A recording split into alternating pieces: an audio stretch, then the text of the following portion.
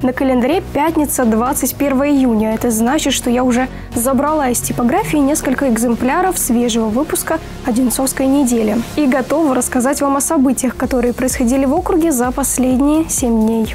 САПы, байдарки, каяки. Настоящая водная делегация проплыла вдоль живописных звенигородских берегов Москвы и реки.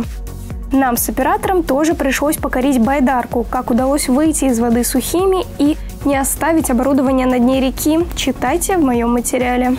Вам когда-нибудь доводилось читать интервью с конем, а вот наш корреспондент постарался – отыскал на фестивале символ футбольного клуба. Каково это было – оказаться в чужой шкуре? Читайте в статье Александра Лычагина.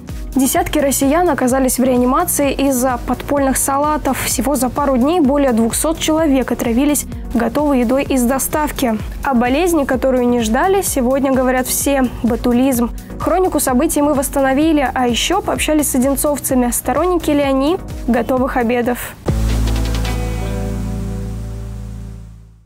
Ни в коем случае, ни в ко... вы понимаете, там, там столько людей отравилось, это же это такое несчастье, такое никто, значит, не отвечает у нас за производство. Нет, ну если э, проверено с, с хорошей там репутацией фирмы, ну, наверное, почему бы и нет, но мы уже не готовы в этом разбираться. Ну, в кафешках, понятное дело.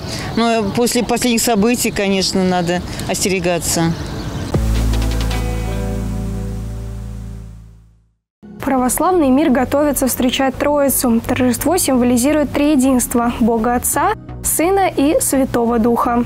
Почему Троицу считают днем рождения церкви? Что означает зеленое убранство храмов? И в чем особенность праздничного богослужения? На эти вопросы недели ответил настоятель Покровского храма Вакулова.